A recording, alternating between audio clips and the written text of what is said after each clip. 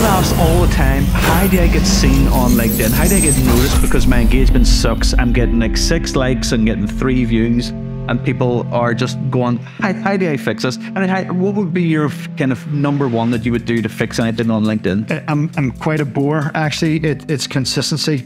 It's it's creating a strategy and creating a content calendar. You know, we we've said it. We we want to make uh, our posts uh, business related, fun, Yeah. A bit of personal journey and stuff like that. Maybe something you're reading. But the reality is, it, it's a consistency. Yeah. It's visual. We've we've had it uh, just recently. Someone said your one of our guys works with us says your bosses are chasing us around the internet. The reality, we're not. We're actually ha- we're working at a strategy Yeah. that allows us to shoot content a bit a bit like this and start to put it in a consistent way. Uh, same time every week. We Christopher and I have an commitment to post every day. That's not for everybody. The reality is, we obviously we're, we're a lot more comfortable with it. But I would always encourage people look, get a content uh, strategy and a content calendar, and then go to work. Yeah, and from one post a day, it might seem like you've just got one bullet to use every single day, but there's more bullets you can use at the same time. So whenever it comes to posting anything on LinkedIn, before you even post that post, get maybe 10 minutes before that to set a little engagement up. So start liking and commenting on other posts. You know, that will kind of trigger things for you to get noticed a bit more on the, on the platform.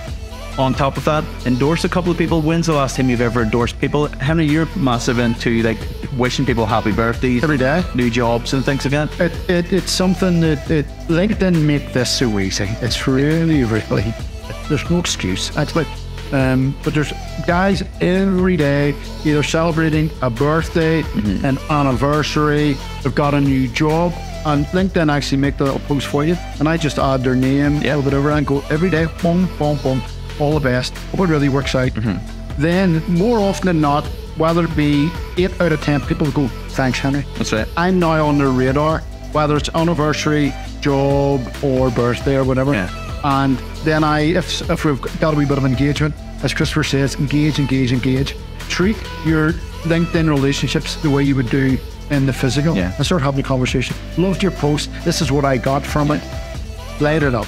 Yeah, so that's a class way to kind of pre-prime LinkedIn so it knows about you and people will know about you as well before you do that little post. Then post your post.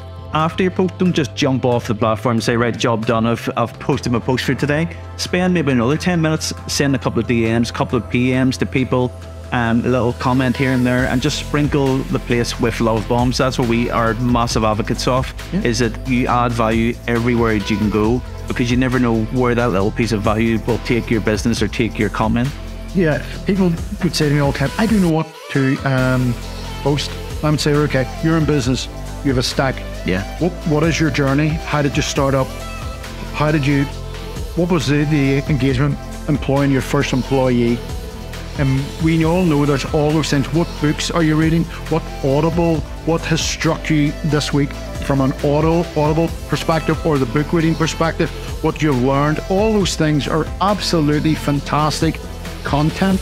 Yeah. But for some reason, we're blinded. We have to say something really, really Yeah. earth moving, which most of life is not.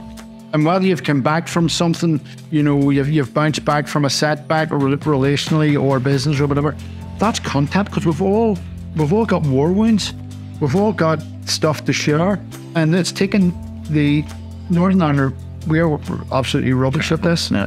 uh, because we're this we you know we're just we're just stupid.